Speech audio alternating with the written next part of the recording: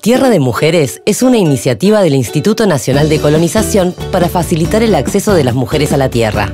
En esta primera etapa se realizarán cinco llamados para diversos rubros productivos. Las unidades de producción serán tanto familiares como grupales y estarán ubicadas en diferentes puntos del país. Las inscripciones se realizan en todas las oficinas del Instituto Nacional de Colonización y el cronograma de talleres informativos y el detalle de los llamados se publican en www.colonizacion.com.uy. Tierra de Mujeres es un compromiso asumido en el Plan Nacional de Género en las Políticas Agropecuarias.